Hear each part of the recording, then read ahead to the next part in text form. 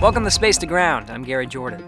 This week, cargo continuously coming and going as humans continuously inhabit the station, now 19 years strong.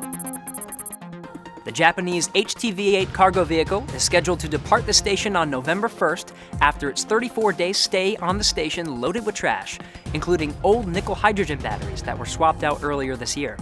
The cargo vehicle will burn up upon re entry into Earth's atmosphere over the Pacific Ocean. On November 2nd, Northrop Grumman's Cygnus cargo vehicle will lift off from the Wallops Flight Facility in Virginia. A new record of 8,200 pounds of cargo on Cygnus will make its way to the station on top of the new Antares 230 Plus rocket that will give that mass the extra boost. You can watch both of these events on NASA TV or the agency's website. New cargo making its way to the station means more science for the expedition's 61 crew members to get their hands on. Scientific investigations make up two tons of the cargo aboard Cygnus. Investigations range from radiation to space food.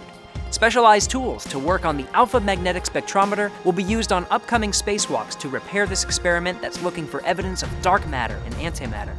A special vest called AstroRad may shield astronauts on Artemis missions and beyond from certain kinds of radiation, so station astronauts will see how it fits and feels. The Zero G oven will examine the ability to bake food in space, which may provide psychological and physiological benefits for astronauts on lunar and deep space missions. These are just a few experiments that join the thousands that have taken place aboard the International Space Station since the first crew arrived 19 years ago on November 2, 2000. We're counting down to 20 years of continuous human presence in 2020.